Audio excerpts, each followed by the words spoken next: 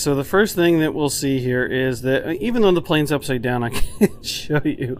Uh, I got the pilot cut and glued on, and I got the canopy trimmed and glued on as well. Now, to be fair, I had some time last night on a Zoom meeting, uh, so I came down to my shop and I took care of this because I knew that the canopy glue would take forever to dry. So, anyway, it looks good. I'm pleased with the positioning. Uh, it was actually pretty easy. Uh, so, I, I, I really can't complain. Moving on. Uh, the airplane is upside down for a very good reason, and the reason is around front. And in case you're wondering, I had a little fun today with 164 ply, a little bit of PETG, some cardboard templates, and taking the wings on and off. We have a battery bay. So this battery bay is uh, I, I, used a, a, trick that I had seen before. Um, so because I didn't know exactly where I wanted to position things, I knew roughly the size of the opening that I needed.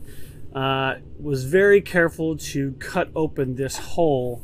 The here's the fiberglass piece that took out. So normally on the plane, this little groove is used for a muffler. Okay, so I knew that there was nothing too terribly critical down here.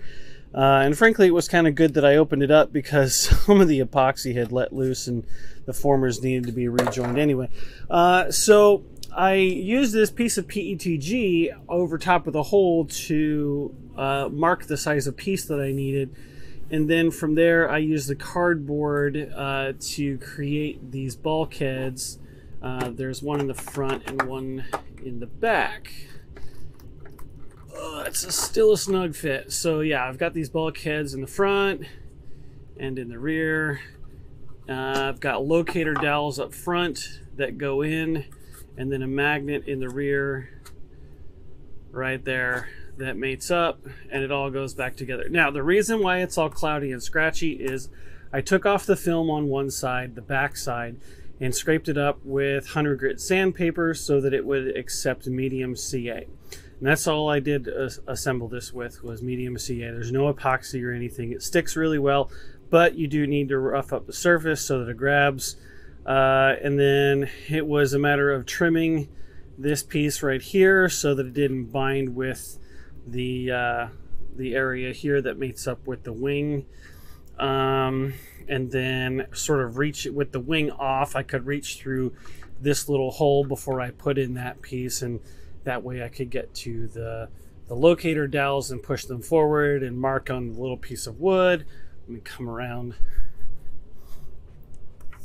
So that's what it looks like down in there.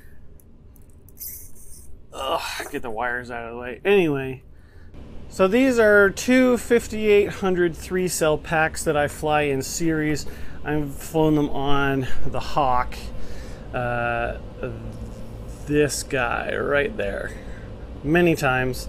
Uh, actually, this motor is the one that came out of the Hawk originally. So uh, the Hawk is, uh, she's kind of a porker. She's a 14 pounder, and this motor flew her quite well uh, on the 1812, and this is also an 1812. And this plane should be a little bit lighter, so a little bit sportier. I'm not going for all out speed. I'm, I'm just saying that right now.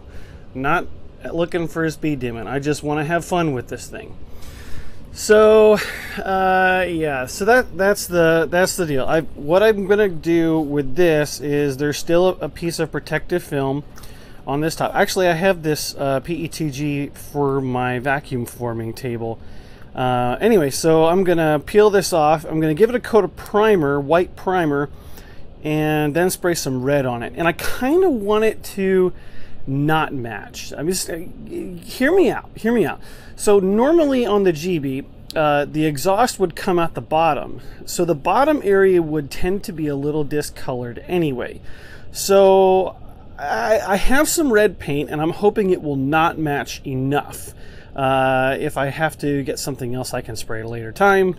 Don't really care, but yeah. See that film just comes right up and it's super glossy. All right, so that's the battery hatch.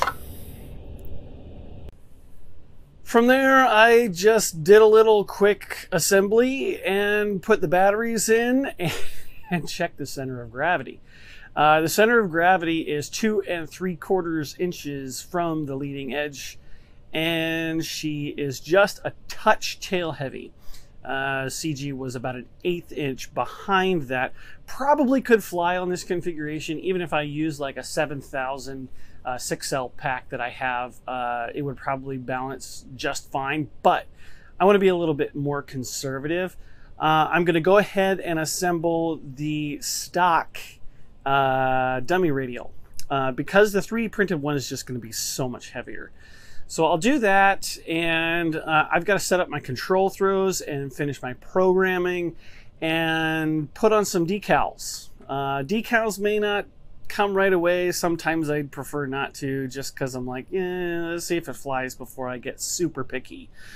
Anyway, uh, so that's really the update for today, guys. It was it was a lot of work uh, to get that because I had to be very careful about cutting the fiberglass and then uh, you know design the uh, the plate that the mo- the batteries sit on and then get it level and then get it epoxied and then wait for that to cure and then get the ha- yeah it was a lot, a lot of time. Um, so bear with me uh, thank you for your patience. Should have a pretty great update uh, the next time and uh, until then uh, let's just continue to finish this flying work of art